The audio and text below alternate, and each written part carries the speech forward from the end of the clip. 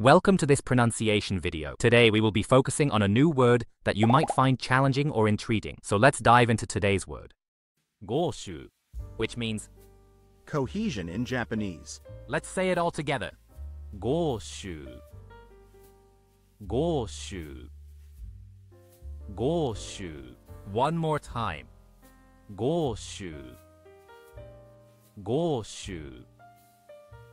gasshuu. Thank you for joining us on this adventure in pronunciation. Remember, language is a journey, not a destination. Keep exploring, experimenting, and expanding your linguistic horizons. We'll see you next time.